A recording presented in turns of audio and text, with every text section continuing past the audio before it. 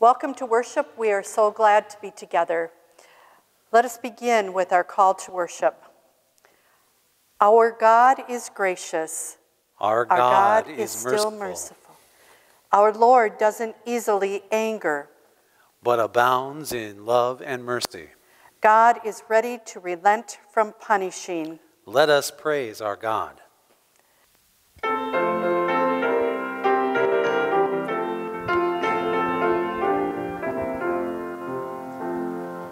Yesu, Yesu, fill us with your love, show us how to serve the neighbors we have from you. Kneels at the feet of his friends, silently washes their feet. Master who acts as a slave to them. Yesu, Yesu, Fill us with your love, show us how to serve the neighbors we have from you. Neighbors are wealthy and poor, varied in color and race. Neighbors are nearby and far away. Yesu, Fill us with your love, show us how to serve the neighbors we have from you. These are the ones we will serve, these are the ones we will love. All these are neighbors to us and you.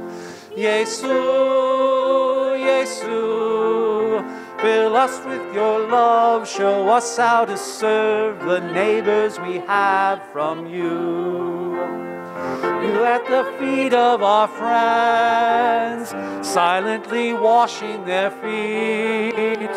This is the way we will live with you. Yesu, Yesu. Fill us with your love, show us how to serve the neighbors we have from you. We confess our sins before God and one another.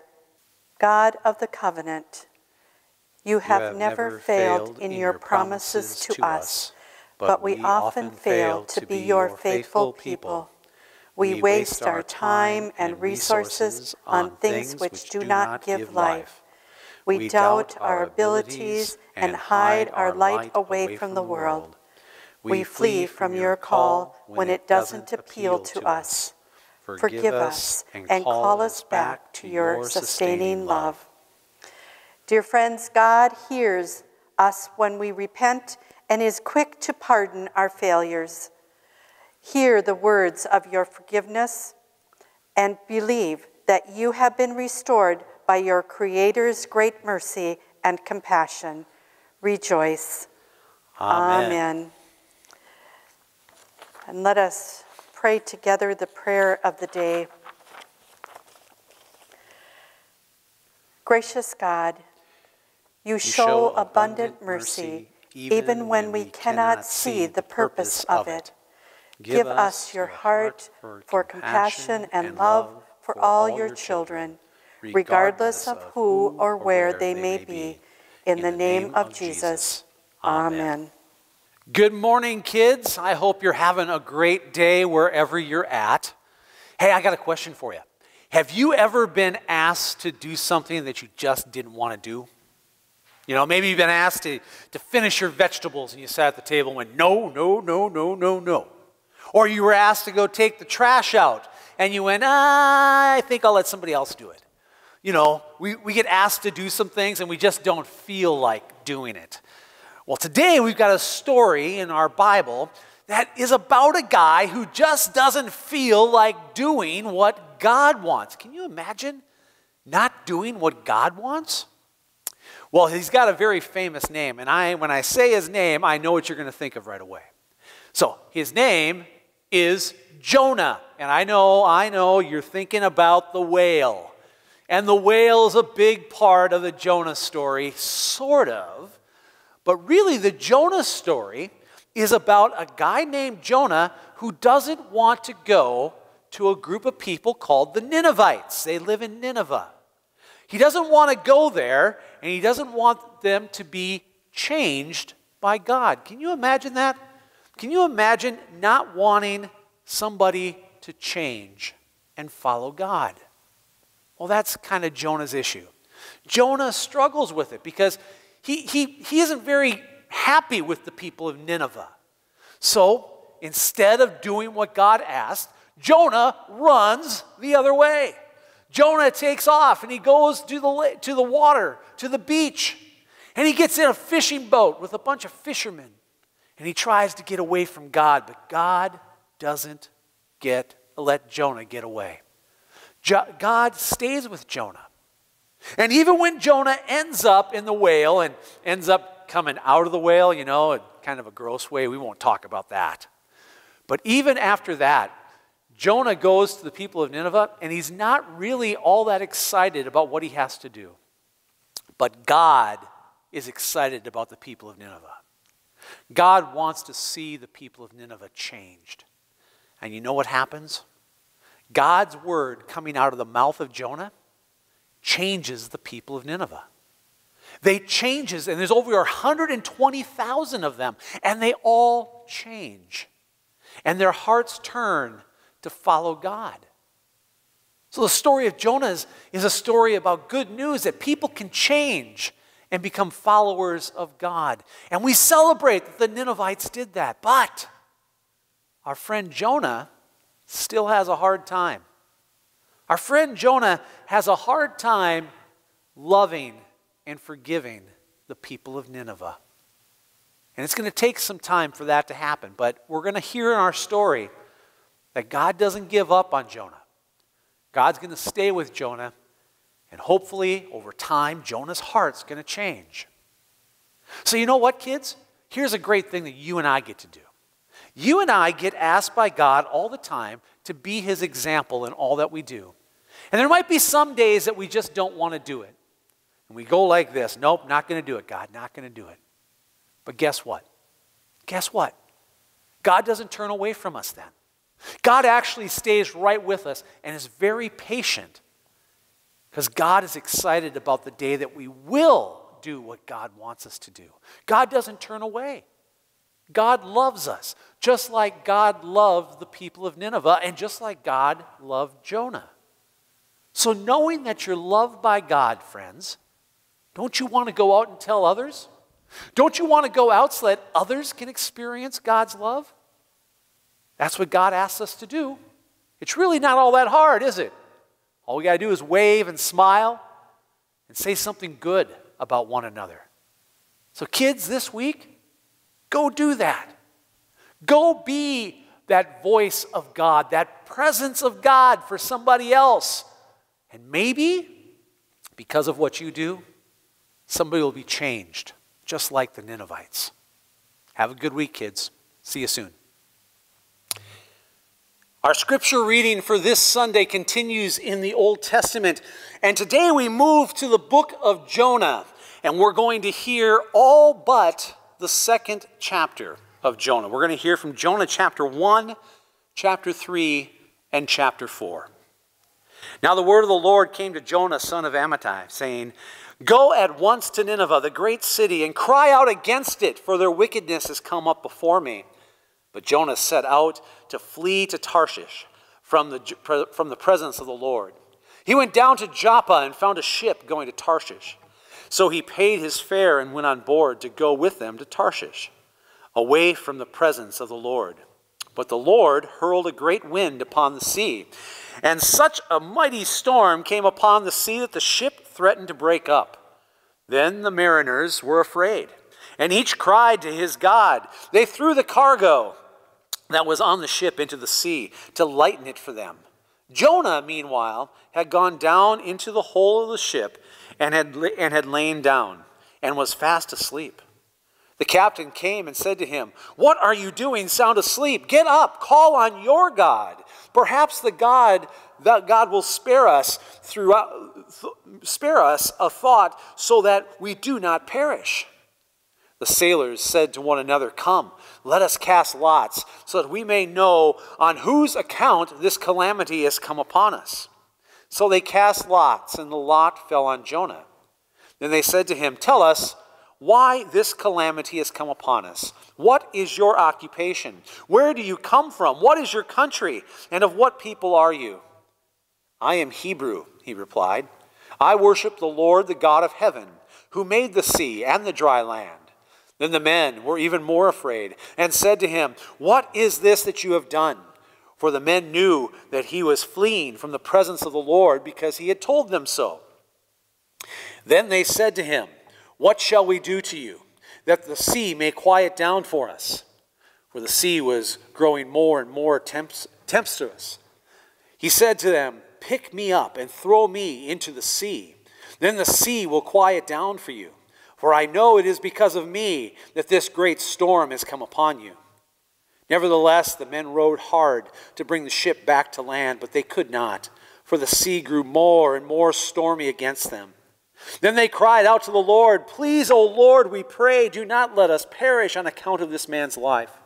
Do not make us guilty of innocent blood for you. O Lord, O Lord, have done as has done as, as it has pleased you. So they picked Jonah up and threw him into the sea, and the sea ceased from raging. Then the men feared the Lord even more, and they offered a sacrifice to the Lord and made vows, but the Lord provided a large fish to swallow up Jonah. And Jonah was in the belly of the fish for three days and three nights. The word of the Lord came to Jonah a second time, saying, Get up, go to Nineveh, the great city, and proclaim to, the, proclaim to it the message that I tell you. So Jonah set out and went to Nineveh according to the word of the Lord. Now, Nineveh was an exceedingly large city, a three days' walk across. Jonah began to go into the city, going, uh, uh, going into the city, going a day's walk. And then he cried out, Forty days more, and Nineveh shall be overthrown. And the people of Nineveh believed God. They proclaimed a fast, and every one, great and small, put on a sackcloth. When the news reached the king of Nineveh, he rose from his throne, removed his robe, covered himself with sackcloth, and sat in ashes. Then he had a proclamation made in Nineveh. By the decree of the king and his nobles, no human being or animal, no herd or flock shall taste anything. They shall not feed, not shall they drink, nor shall they drink water. Human beings and animals shall be covered with sackcloth, and they shall cry mightily to God. All shall turn from their evil way and from the violence that is in their hands. Who knows? God may relent and change his mind. He may turn from his fierce anger so that we do not perish. When God saw what they did and how they turned from their evil ways, God changed his mind about the calamity that he had said he would bring upon them, and he did not do it. But this was displeasing to Jonah, and he became angry. He prayed to the Lord and said, O Lord, is not this what I said while I was in my own country? That is why I fled to Tarshish at the beginning, for I knew that you were a gracious God and merciful, slow to anger and abounding in steadfast love, and ready to relent from, the, from punishing. And now, O Lord, please take my life from me, for it is better for me to die than to live. And the Lord said, is it right for you to be angry? And Jonah went out of the city and sat down east of the city and made a booth for himself there. He sat under it in the shade, waiting to see what would become of the city. The Lord God appointed a bush and made it come up over Jonah to give shade over his head, to save him from, the, from his discomfort. So Jonah was very happy about the bush. But then, when dawn came up the next day, God appointed a worm that attacked the bush so that it withered. When the sun rose, God prepared a sultry east wind, and the sun beat down on the head of Jonah so that he was faint and asked that he might die. He said, It is better for me to die than to live. But God said to Jonah, Is it right for you to be angry about the bush? And he said, Yes, angry enough to die. Then the Lord said, You are concerned about the bush, for which he did not labor, and which you did not grow. It came into being in a, in a night and perished in a night. And should I not be concerned about Nineveh, that great city, in which there are more than 120,000 persons who do not know their right hand from their left, and also many animals? Friends, grace and peace to you from God our Father and our Lord and Savior, Jesus Christ. Amen. Well, as you heard in the text, you heard everything of the story of Noah except what Noah is most well known for, and that is the whale of a tale of Jonah being in the fish's belly. Well, I'm going to come back to that, okay? I want to come back to it after a while because I, I, I think we want to see that maybe with a different set of eyes. So let me give you a little background as we move into this.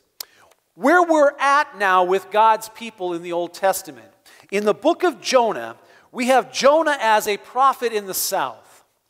The northern kingdom of Israel has fallen, it no longer exists. It has been taken over by the Assyrians.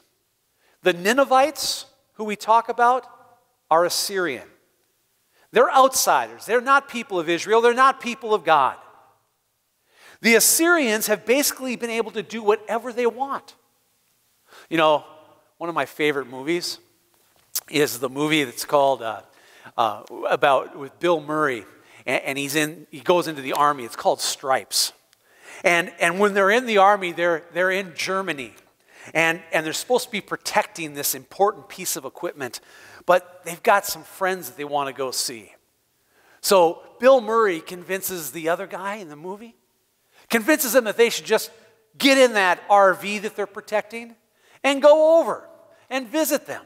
Well, while they're over there, something terrible happens to everybody in their company. They get captured by the Russians and they're in Czechoslovakia. So Bill Murray convinces everybody now that they can go and rescue their friends. Because going to Czechoslovakia is just like going to Wisconsin. You zip in, you zip out, nobody even knows you're there. Well, that's the way it's been for the Assyrians. The Assyrians have essentially moved into the northern kingdom like it was, like it was Wisconsin. And now they're going down to Judea. And they view Judea just like Wisconsin, too. They're going to zip right in, zip right out, take whatever they want. The only problem is God is aware of what's going on. And God has appointed a prophet there named Jonah. And Jonah has preached hope and good news to the people of Judea. They have been hearing words that have given them hope and courage that God's going to take care of them. And up to this point, the Assyrians have not been able to penetrate in. However, they have been able to do a lot of damage. You see, the Assyrian king has put a bounty out on the heads of Judeans. As a matter of fact, the more Judeans that can be brought before the king, the more dead Judeans that can be brought before the king, the more, uh, the more of a bounty it would raise. So it wasn't easy being Judean, especially with the Assyrians. So when we first hear in the book of Jonah that God calls the prophet to go to the Ninevites, who are Assyrian, we maybe assume right away that the reason why Jonah doesn't want to go is justifiable. He's afraid to go to the Ninevites, to, to expose himself as a prophet from Judea with a bounty on their heads. Well, that's what we think right away. But it isn't until we get to chapter 4 of the book of Jonah that we discovered that Jonah's desire to flee has absolutely nothing to do with hatred or to do with fear. It has everything to do with hatred. Jonah hates the Ninevites. Jonah has a dark spot on his heart for the people of Nineveh. He doesn't want to see them saved. In that fourth chapter, we hear Jonah say, I knew. I knew from the beginning, God, that if I went to Nineveh, you would do this very thing. And what was that very thing that God did? Forgave the Ninevites. Because the people of Nineveh's hearts were changed. Now, let's be clear. Jonah, as a prophet, is very reluctant to go to the people of Nineveh. Even after he spends some time in the whale and bargains with God, his message, his proclamation to the people of Nineveh is not a proclamation that is transformational.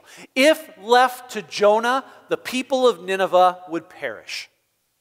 I want you to think of it this way Instead of Jonah walking through the city with this loud, booming voice that's changing people, whoever hears it, Jonah's more plodding along like Eeyore in the cartoon. You better change. You're going to die 40 days. That's Jonah's message. Not very powerful, is it? Not something that would make you quake wherever you were standing, right? So, how is it that the people of Nineveh change? If the prophet is reluctant and has a hardened heart towards them, how in the world do 120,000 plus people of Nineveh, including the king,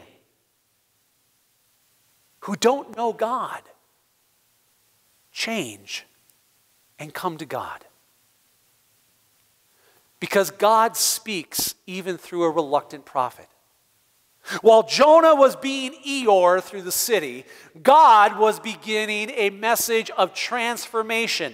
As Eeyore Jonah spoke, the proclaiming God overdid it.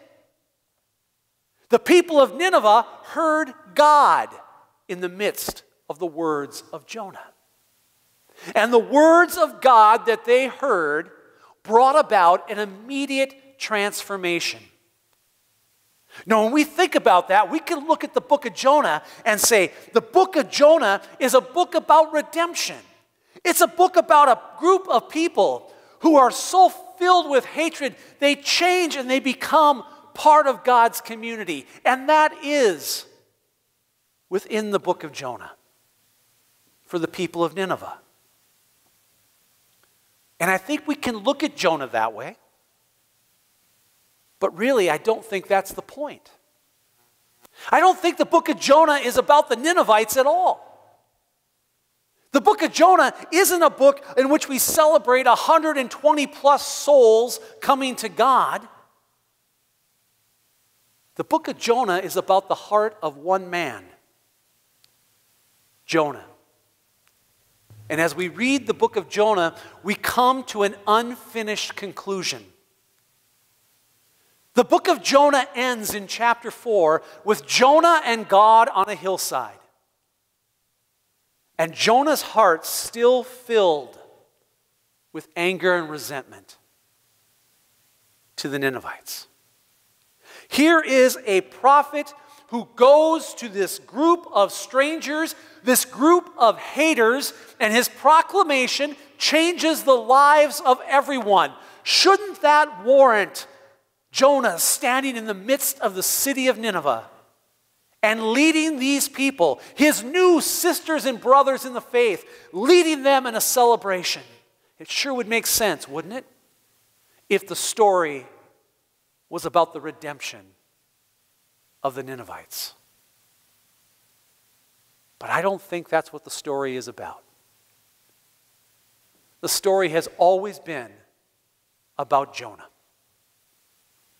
See, Jonah knew. Jonah knew exactly what God was all about. When Jonah got that message in chapter 1 to go to the Ninevites and to, to proclaim a message that says, You better change or God's going to destroy you, Jonah knew exactly what God was going to do, because he says it in chapter 4. He knew God was slow to anger, full of mercy, and abounding in steadfast love. He knew that his going to the Ninevites was going to result in the Ninevites coming to God, and Jonah didn't have room in his heart to do that. It was far easier for Jonah to keep the divide, to keep the hatred, to keep the resentment. Jonah wanted to live in the darkness as opposed to the light. But God wanted more. And God won't give up on Jonah. When we hear about him in the ship and we hear about him getting tossed over, did you hear that though? Whose idea was it to throw Jonah in the water? It's Jonah. Jonah's hatred is so deep for the Assyrians and the Ninevites in particular that he's willing to die instead of going there and being part of changing their hearts. That's how rigid, that's how deep his resentment and hatred is. But God won't let it win. This is where the whale comes in. God does something miraculous. Jonah falls into the water in full hopes of drowning. God won't let it happen. God stays committed even with the reluctant ones.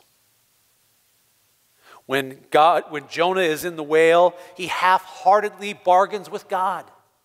And God stays committed to, jo- to Jonah. When he gets on the shore of Nineveh, Jonah reluctantly goes and does his job. Like I said, he plods along like Eeyore. But God won't let that half hearted attempt stop the transformation. And when Jonah goes and sits outside the city, wanting to see it destroyed, because his hatred is so deep, God will go and sit patiently alongside, foregoing the celebration of 120,000 plus new believers. Friends, the story of Jonah is the Old Testament account that we heard Jesus talk about when he talks about the shepherd who leaves the flock, leaves 99 who are safe and saved, and goes to seek out the one who's lost. We could look at the book of Jonah and say it doesn't give us a conclusion. I would argue it gives us the best of conclusions. A Jonah still filled with anger and resentment sits on the side of a hill, not alone, but with God. And God will patiently speak to his heart. God won't leave Jonah until Jonah can begin to see the people of Nineveh as his sisters and brothers. Friends, we've been living in the midst of great division.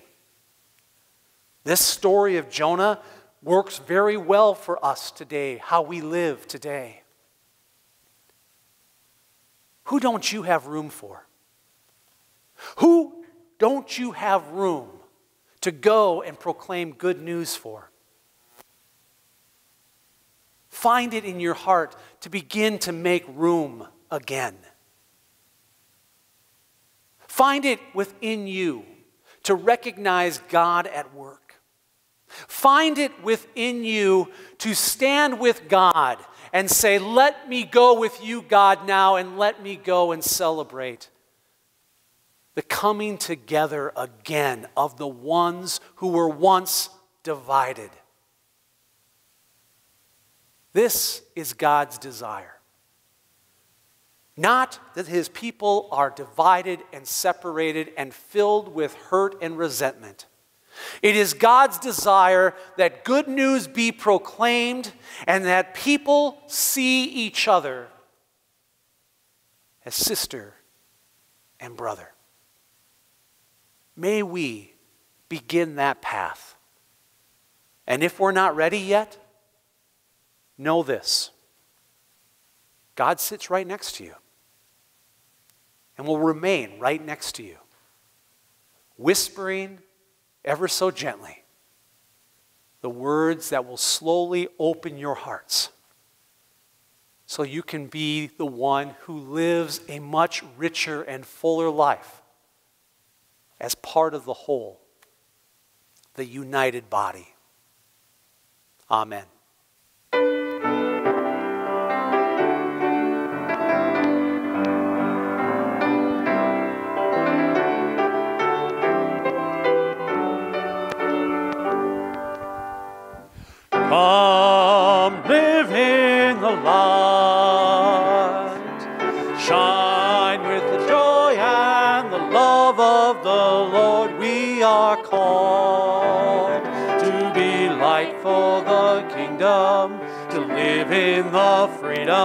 Of the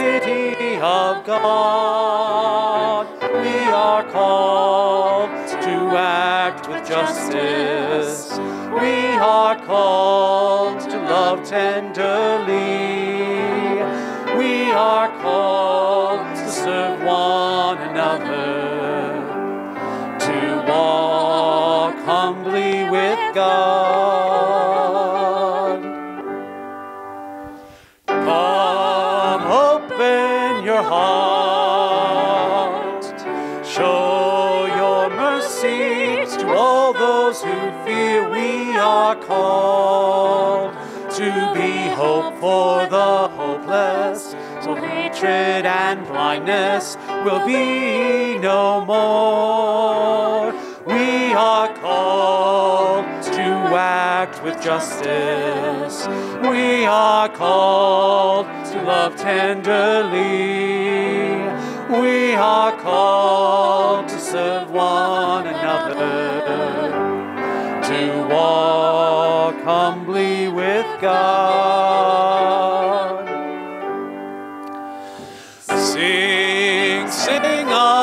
Song. Sing of the great day when all will be one. God will reign, and we'll walk with each other as sisters and brothers, united in love. We are called to act with justice. We are called tenderly. We are called to serve one another, to walk humbly with God.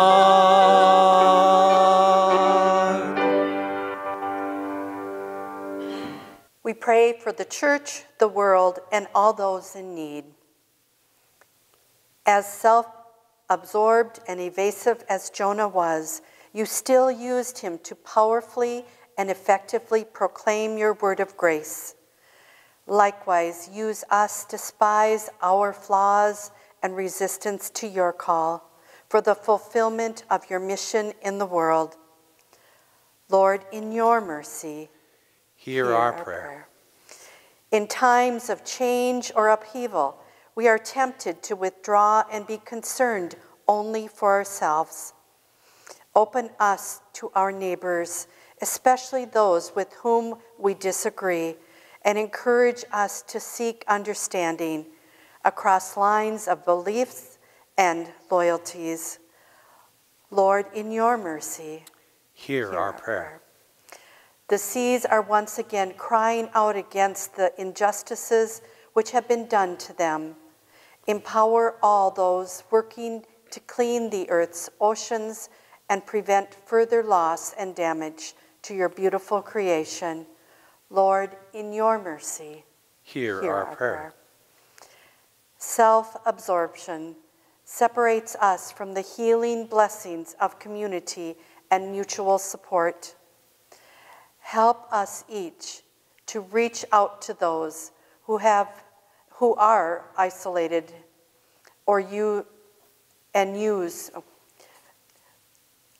help us to reach out to those who have isolated themselves and use us to spread the spirit's healing grace. Be especially this day with those whom we lift up. We pray for the sick in body mind or spirit those dealing with COVID or experiencing medical tests or surgeries or treatments, those who are experiencing difficult times or financial stress. We pray for the homeless, the homebound, those who are hungry or lonely or helpless or grieving. And we pray for those on our FLC prayer list, as well as those we name in our hearts.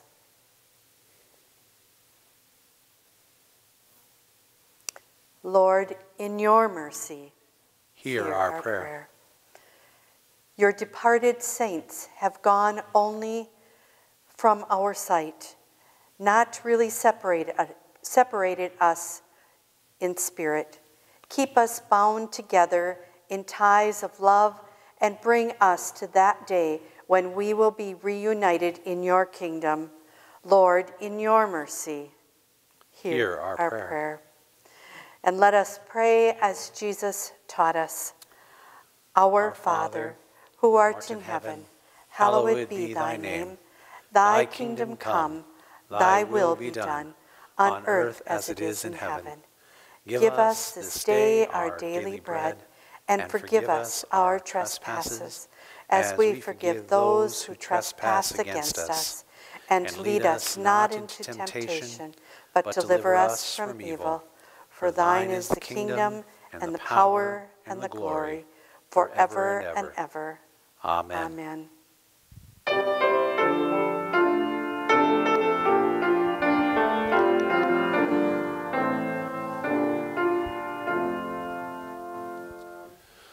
Lord, whose love in humble service bore the weight of human need upon the cross forsaken worked your mercy perfect deed.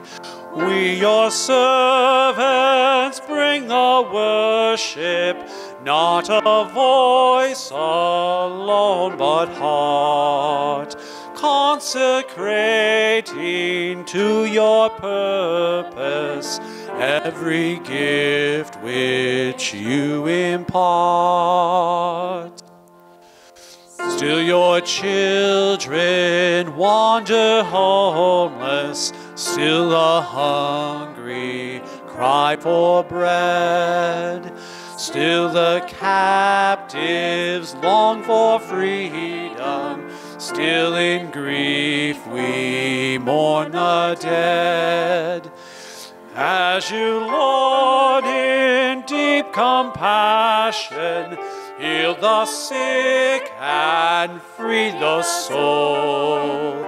By your Spirit, send us power to our world to make it whole.